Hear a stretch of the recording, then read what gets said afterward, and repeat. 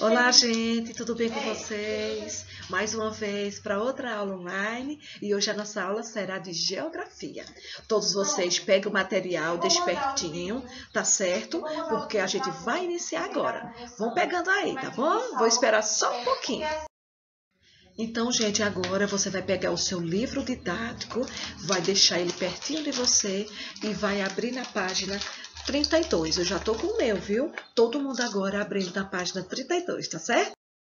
Recursos da natureza é o nosso conteúdo de agora, tá certo, gente? Como a gente tá vendo aí, recursos da natureza como o solo, o sol, a água, os seres vivos, a alimentação aí, não é, gente? Os vegetais, são todos recursos que a gente retira da natureza para nossa sobrevivência, tá certo? Eles são recursos da natureza.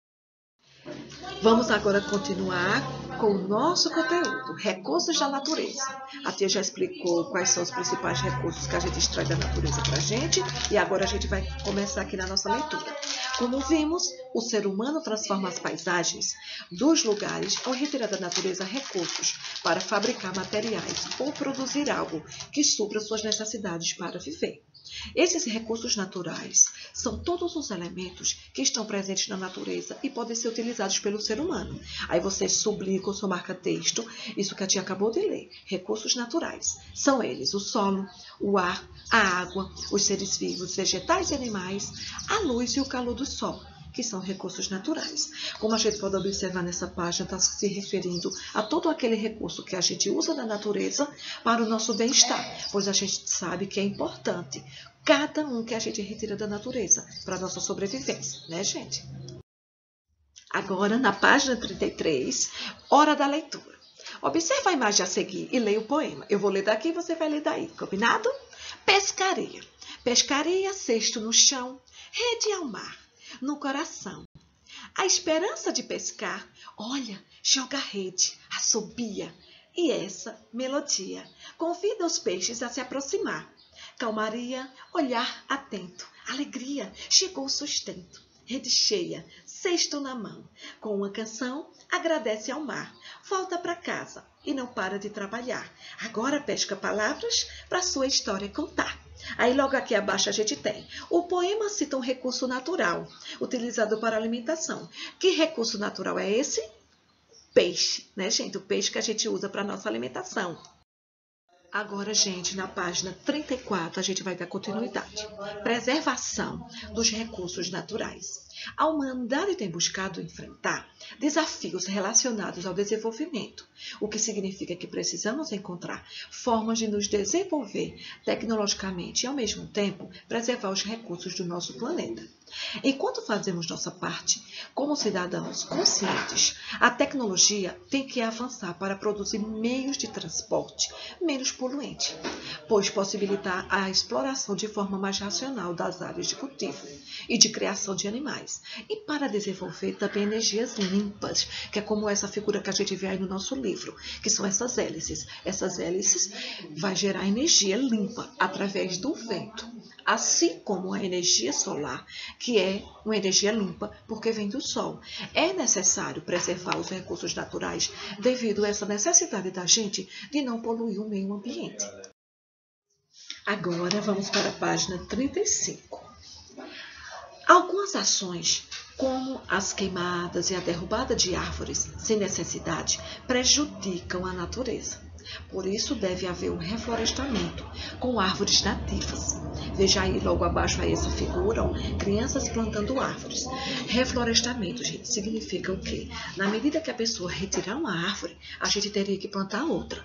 Mas o que acontece com a maior parte das pessoas é que as florestas estão sendo devastadas porque as pessoas cortam, usam sua madeira, mas não plantam novamente. Então não acontece o reflorestamento. Então isso é algo muito prejudicial. E é um recurso da natureza, como a gente viu logo, logo, no início, né? Então, por ser um recurso da natureza, é importante que a gente também cultive e, se for retirar alguma árvore, a gente plante outra em seguida. Agora, gente, vou querer que vocês façam a leitura novamente de tudo isso que a gente viu. Tia Yara não leu tudo, mas eu quero que todo mundo leia cuidadosamente uma vez, se for preciso, leia outra vez novamente, tá certo? E agora é a hora de você pegar seu caderno. Você vai pegar seu caderno, E você vai. Olha, gente, eu não recordo, mas se na última atividade a tia Yara não corrigiu, você vai esperar que quando voltar eu pego os cadernos e corrijo tudo. Tinha até um trabalho que eu tinha passado para vocês. Quem não fez ainda, não realizou aquele trabalho, atualize agora. E você vai pegar o seu caderninho, vai fazer o cabeçalho do colégio, pode botar seu nome e a data também, viu, gente? E vai escrever recursos da natureza. O que são recursos naturais? Você vai pular a quantidade de linhas que você sentir necessidade. O 2. Por que a luz solar é um recurso natural muito importante? Cite exemplos. E o terceiro, você vai classificar os recursos naturais em vegetal, mineral ou animal, que são eles peixes, lagos e petróleo, tá certo? E continuando, gente, camarão, sal marinho, diamante, látex e castanha do Pará. Quando você classificar, aí você vai para o quarto. Por que precisamos preservar os recursos naturais? Você vai escrever o que você acha. E o quinto quesito, que recurso natural é usado para a produção de energia eólica? Eita, na explicação eu falei, gente. Lembre-se direitinho, é um recurso natural. Tem lá no nosso livro. Você lê novamente que você vai conseguir, tá certo? E agora, gente, o momento de pegar nossa agenda, viu? Pegue a agenda e você vai colocar na próxima página agenda do dia. Não precisa escrever a agenda do dia. Você vai pegar a sua agenda e vai escrever na outra página, 8 de 5 de 2020, a data. E após você colocar a data, aí você vai escrever. Recursos da natureza, livro páginas 32 e 33, que foi o que a gente viu hoje. Preservação dos recursos naturais, páginas 34 e 35. E atividade para ser copiada no caderno de geografia. Ou você escreve assim, ou se você quiser escrever geografia, caderno, que é como a gente faz em sala, também pode, numa boa escreva e peça para a mamãe assinar. Quando a gente voltar, a tia vai assinar tudo isso, que ficar em branco, viu? Se Deus quiser, tá bom?